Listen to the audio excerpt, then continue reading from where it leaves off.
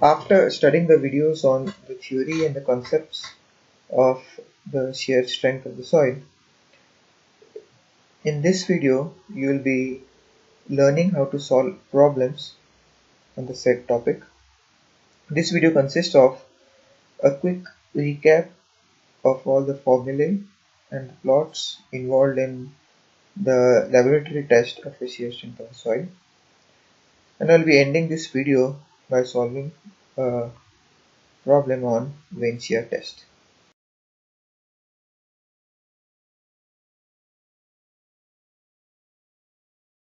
Henceforth, we'll be dealing with few parameters which you must have studied before in the previous videos. The most important ones are the principal planes and the stresses sigma 1 and sigma 3 the normal stress sigma the shear stress tau the angle of internal friction phi the cohesion c the angle of failure plane alpha. Also the three diagrams are displayed here. The first one is for C and phi soil where you can see a failure plane given by Mohr's Coulomb S equals to C plus sigma tan phi. In the second figure you might see that there is no cohesion that means it is a frictional soil or sandy soil and in the third one as you can see the phi is missing. That means it's a purely cohesive soil. So for three different types of soil, you may find three different Mohr's circle. Below given are various formulae required for solving the problems. You might pause this video and make a note of it. In all, you'll be learning four tests to determine the shear strength of the soil in the lab, namely direct shear test, triaxial compression test, unconfined compression test and vane shear test. The most commonly used is direct shear test and triaxial test. In this slide, you can see a bunch of formulae involved in direct shear test. In figure A, you can see a typical stress condition in the shear box during the test. The most important thing to understand here is figure B. I hope you have studied this in the theory part so I won't take much time and I'll move on to the next. As you know, triaxial compression test is a, a, a kind of complicated test here we can measure pore water pressure. Hence the concept of effective stress comes into the picture. Here we can find out the total stress parameters as well as the effective stress parameters. Second important thing here is the deviator pressure or the deviator stress which will be helpful for you while understanding the problems. The deviator stress is delta sigma.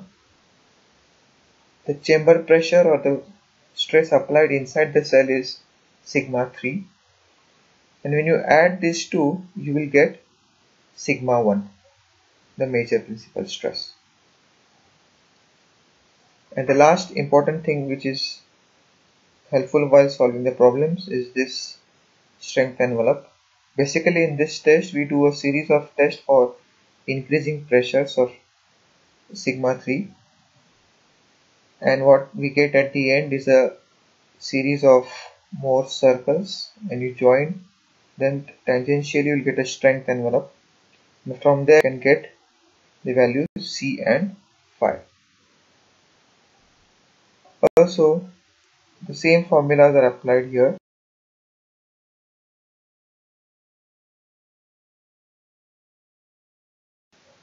The first thing which should come to your mind when you're solving the problems on unconfined compression test or UCS test is that the value of sigma 3 is 0.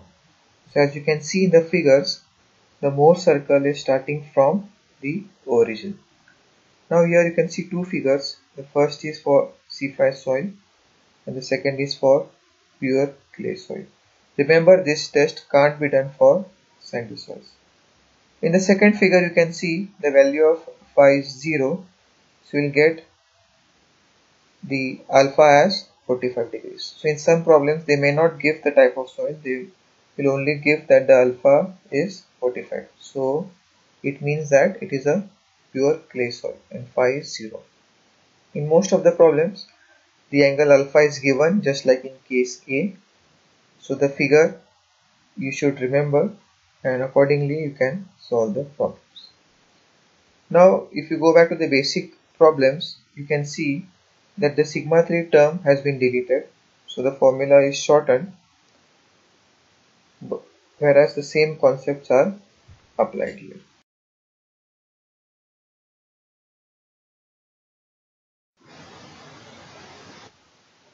Vane shear test is most probably the simplest test to perform in the lab. This is a test done only for clay soil, not for sandy soil. Hence you can see no friction or phi term in the formulas here. So shear strength is directly equal to the cohesion of the soil and is given by the formula where T is torque, T is the diameter of vane and H is the height of the vane. Sometimes they may also ask you to find out the sensitivity of the soil. So the form formula is the ratio of cohesion in undisturbed to the cohesion in disturbed or remolded condition.